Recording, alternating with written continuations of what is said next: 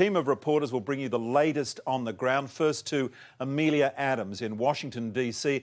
Amelia, protesters and police are still clashing on the doorstep of the White House.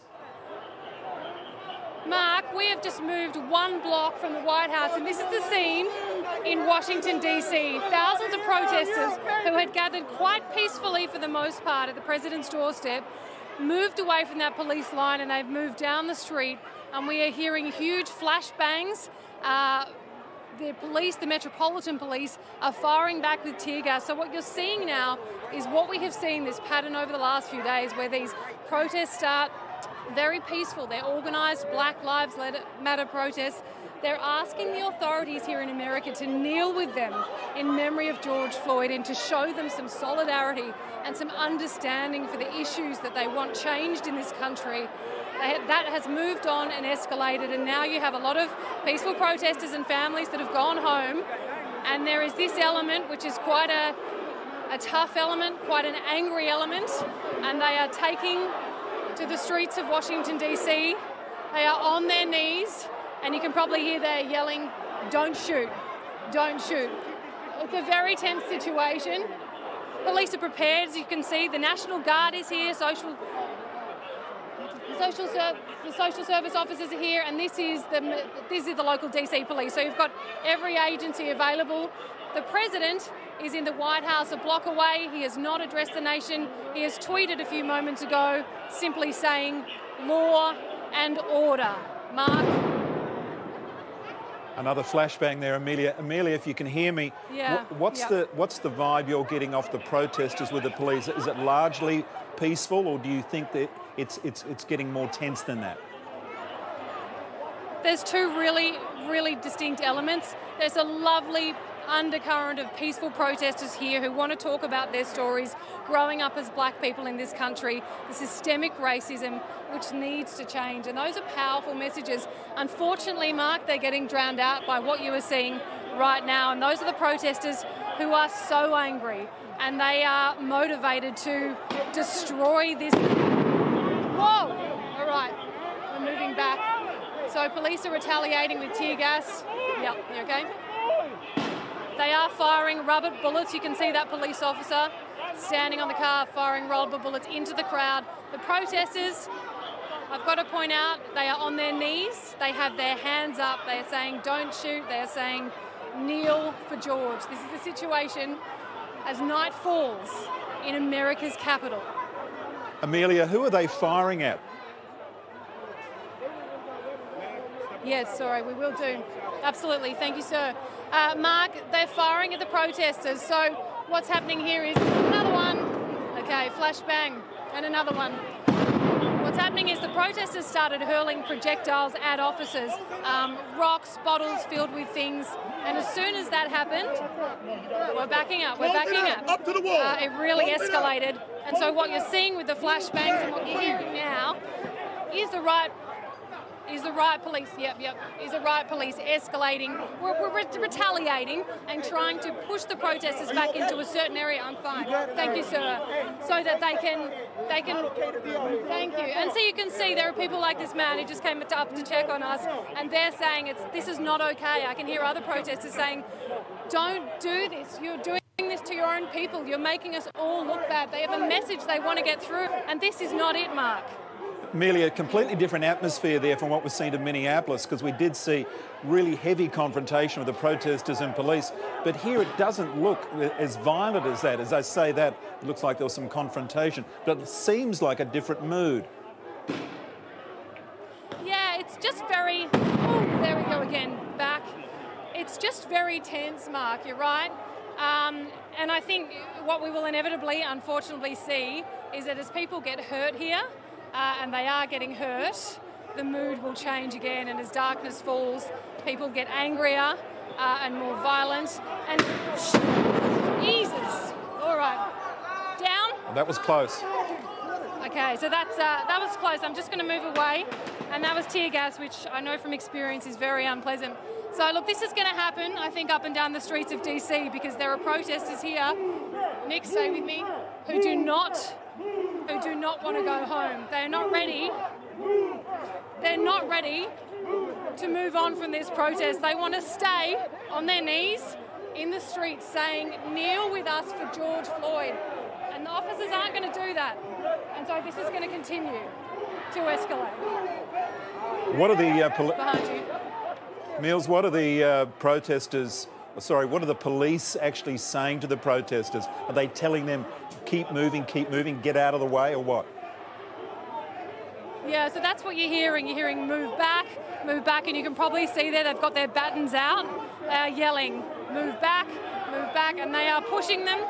They did ask, the protesters didn't comply, and now there are projectiles being thrown in both directions. Amelia, give us a sense. How close are you to the White House there? How, if you were to walk now to the White House, how long would it take? Uh, when I started talking to you, Mark, whoa, flashbang. You're okay. Thank you, sir. When I started talking to you, Mark, we were one block from the president's front door. We're now about, walked about three blocks in that time uh, down the main street here, uh, H Street, northwest of DC. And this is a beautiful area. I was here two months ago as coronavirus shut down this city. Uh, It's a gorgeous historic city, as you know. And now a lot of these shop fronts have been vandalised. Now what you're seeing is the police. Thank you, sir. The police holding their line. Man has a right to immediate medical attention, man. Okay. shot him in the fucking face. All right, someone's down to my left. What's he saying, And Amelia? here we have this pattern again. So the someone's down. He needs medical medical attention. Okay, so Mark, the police are now asking us all to stand and to stand back from their line. This guy's been quite badly hurt. Okay. Was he hit? Yeah. what do you Tear think? gas? What do you think happened there, Amelia? What do you think happened to that person? Was that a rubber bullet? What was he hit with? Does anyone does anyone know what he was hurt with? Okay, there we go. There you go, Mark. So the protester that you're seeing was hit by a rubber bullet, and they're extremely pain, painful and extremely dangerous. So that's what the police are trying to use to control this crowd and keep them in position. We've now stopped moving. We've now got about two blocks, which is clear. So the police have cleared that two blocks, and on the other side is the White House and another huge crowd just like this one. It seems like, Amelia, that they're content to keep the protesters where they've got them now. They seem to have henned them down that end of the street. It looks like they're, they're content with that now. Yeah, and that's exactly what happened here last night. That containment strategy, as you would know, DC is very much on a grid and keeping everyone in certain blocks um, so that they can contain the situation as best that they can. And even as all of this is happening around me, Mark, I can hear people walking past yelling, Stop, don't do this, stop the violence, this is not what we're about. Walk, don't run. Um, don't let them make us look bad. So, this is a real conflicting message that we're seeing right across this country this weekend. Uh, and now, well, it'll be the third night here in DC, but the sixth night in other parts of the country. Uh, it's very, very sad, really, and it's very confronting. Amelia, that gentleman that's, uh, oh, he's on the phone now, but I was going to ask you to turn around if one of the people there would like to give talk to us and give us a sense of why they are there. If you can. You know what? He's my security, and I'm very grateful that he's he's my security guard, and he's very grateful that he's just turned up. So I'm going to ask someone else for you, and we'll get a little bit of a sense. I've got to I've got to pick my. Uh... I understand. Excuse me, sir. Would you mind me tell, talking? You don't want to talk? Telling me why you've come out today? What's that? I'm supposed to be hooping. He's supposed to be playing basketball. He Oh, okay. He shouldn't be here. I think there's probably quite a lot of people who shouldn't be here, but we'll find someone who can talk to us. So, would you mind telling me why you're here today? No, they don't want to talk. They don't want to be on camera. Why did you come here today? Why are you part of this? I came here to protest against the senseless killing of Mr. Floyd and countless others in America and just throughout history of the United States. So that's why we're here. We're just trying to peacefully protest and let the whole country know in the world that what's going on here is wrong and it, this should be fixed immediately. That was such an important message, and the march was so beautiful and peaceful for so long. Outside the White House, things got a little bit heated. Then we moved away from the White House. Now, what has just happened here? It has turned ugly. How does that make you feel when you've come with such an important message to get across? It makes me feel terrible. Like to be a U.S. citizen, like this just is just disrespectful. Like I, it makes it hard for me to say that I'm from the United States. Like it just puts a, such a bad vibe and by bad energy in my heart, knowing that I was born and raised in Virginia. And it just hurts for me to say that I'm a U.S. citizen because with stuff like this, we were peacefully protesting at the White House. Yeah, we were shaking maybe the fence a little bit.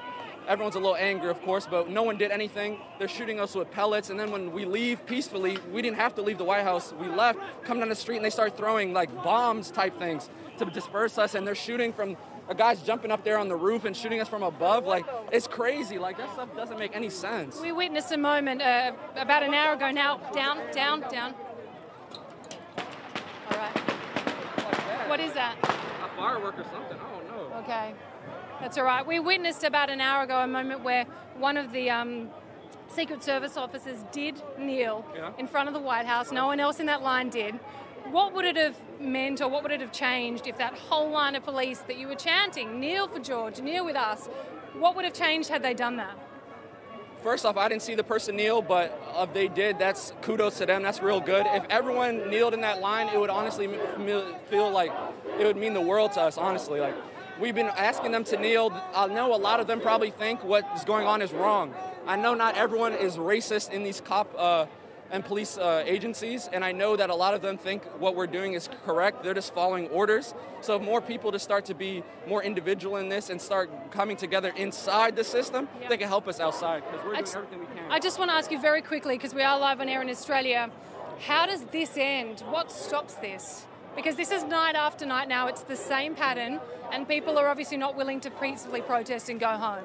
I think the only thing that stops this is when we get real reform from the government, uh, local, county, state, national. We need complete change of the judicial system. Um, we need to stop incarcerating so many African American people. We need to stop killing African American people and other minorities. We need a complete 180 of what we have right now. It's going to take a lot, but we're going to be here every day if they don't. So Okay. we're here every day. So Thank you so much for sharing your perspective and your insights with us, and stay safe. You yeah, too. all the Yeah, best. Thank you. Thank you. So there you go, Mark. As you just heard, these people are going to be here. He said every day until something changes. You do get a sense, and I know uh, through history, 1968, 1992, 2020 has brought something different to America. This is an absolutely critical moment, and how it is managed, and how this country moves forward here is so important. Amelia, fantastic cross. Uh, stay safe, and uh, we'll be crossing to you throughout the morning. We'll talk to you soon, okay?